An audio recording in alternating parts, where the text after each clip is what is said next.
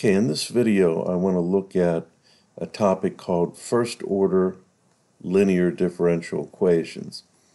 And we'll have a technique for solving these type of um, differential equations that maybe can be used whenever you can't uh, do the homogeneous or, or homogeneous uh, differential equations where you looked at the um, the function of x and y in front of the dx and the function of the x and y in front of the dy, and they had to be of the same uh, degree. So this will be, an, and I'll show you maybe some problems here that don't fit um, the homogeneous differential equations approach. All right. Anyways, so the standard form for this type of uh, differential equation. It's first order because there's the first derivative. So here's the first derivative right here, dy dx. So you have dy dx plus some function, continuous function of x here, y, equals some function of continuous function of x over here on the on the right side. All right. So it's linear because the y prime is linear and y is linear here. Okay? All right, so whenever we solve this type of differential equation, um, it's actually not too bad, but it's a little bit weird here uh, at the beginning, so bear with me here. Uh, first thing, or one of the things we're going to need is we're going to have to find something called the integrating factor. And it's not that hard to find, really. Uh, we'll call it I of x. And it's going to be e to the integral of p of x, and your p of x is the function of x that's right in front of the y whenever we have it in the standard form. All right, so i of x is going to be equal to e to the integral or e to the integral of p of x dx. So once once you find what p of x is, you integrate it, and then i of x is e to that power. And then you go right into your general solution right off the bat. So the general solution y is going to be equal to 1 over this integrating factor, this, this um, i of x, integral of q of x. What's q of x? q of x is what's on the right side of the standard form over here. It's not attached to y and it's not attached to uh, y prime or dy dx times the integrating factor again dx. And then you might be saying, well, why do I have a 1 over i uh, of x and then an i of x here. And can they not cancel? Well, no, they can't cancel because this 1 over i of x, this i of x itself is outside the integral. This one's inside the integral. So you can't move anything with x's, you know, from outside to inside or inside to outside. You can only move constants or coefficients. Okay?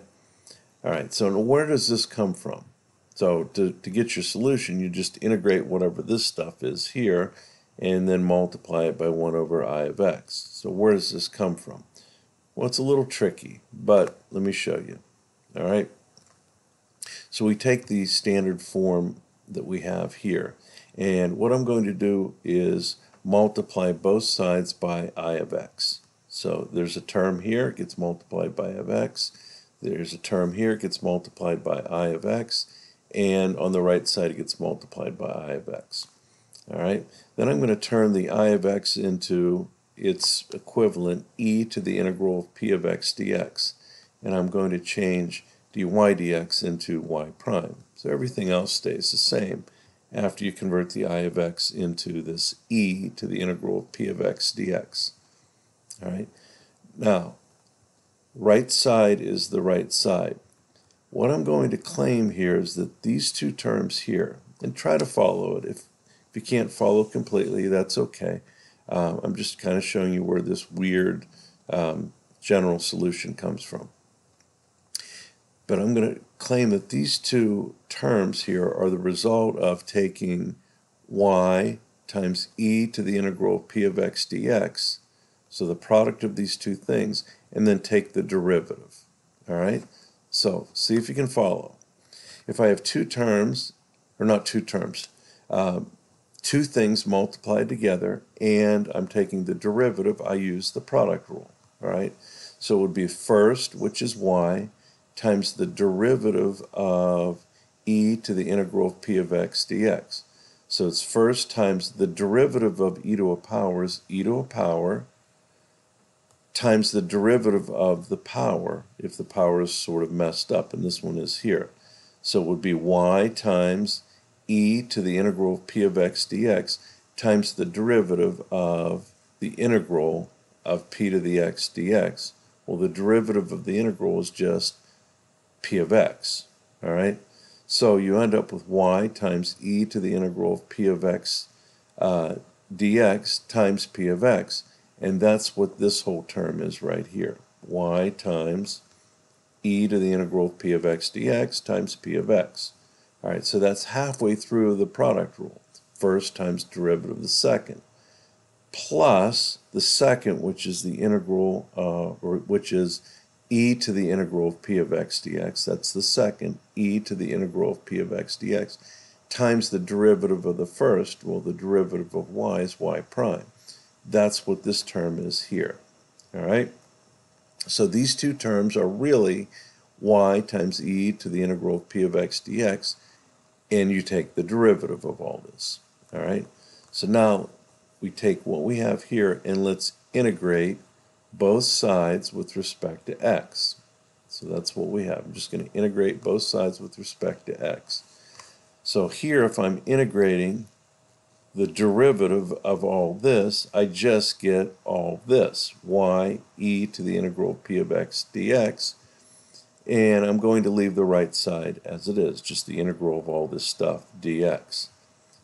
All right, now, what if we turn e to the integral of p of x dx back into i of x?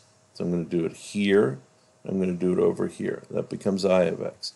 And then when I solve for y, I would have y times i of x. I would just multiply both sides by 1 over y of x, or 1 over i of x, I should say.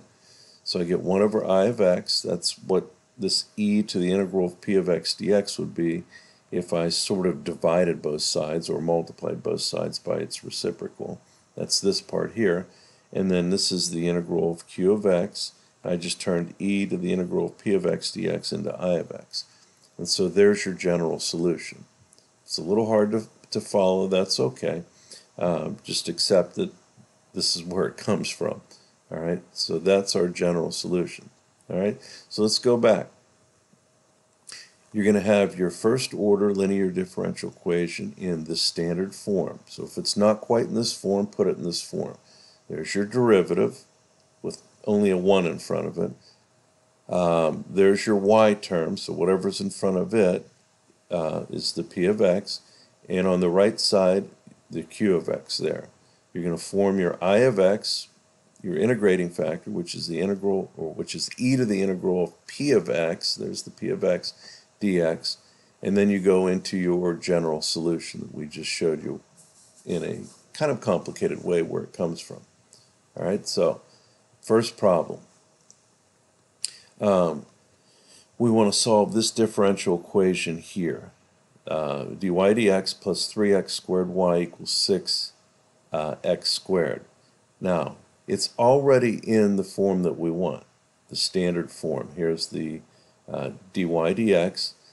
The p of x is right here, the 3x squared. It's what's in front of the y. And the q of x is over here, the 6x squared. Let's form the integrating factor. So i of x is equal to e to the integral of p of x dx. Well, p of x is 3x squared, so i of x is the is e to the integral of 3x squared dx. We'll just integrate 3x squared dx. It's easy. It's x cubed. It's x 3x cubed over 3, or just x cubed. So now we know what i of x is. It's e to the x cubed. So now I take my general solution and I plug in what i of x is. Goes right in here. So I get 1 over e to the x cubed. It goes into here. There's e to the x cubed. There's the q of x, which is 6x squared. And now all I have to do is integrate 6x squared e to the x cubed dx. That's a lot to say. All right. So when I look at this, uh, I'm thinking about u du substitution here. So if I have e to a messed up power, so my u would be x cubed, I'm going to need a du, which is going to be 3x squared dx. Well, I've got 6x squared dx. So what if I just take that 6 and make it 2 times 3? I can pull the 2 out front to get it out of the way, because it's just a number. I'll put the 3 with the x squared and tuck it over with the dx. So now I have the integral of e to the u du. Well, the integral of e to the u du is just e to the u.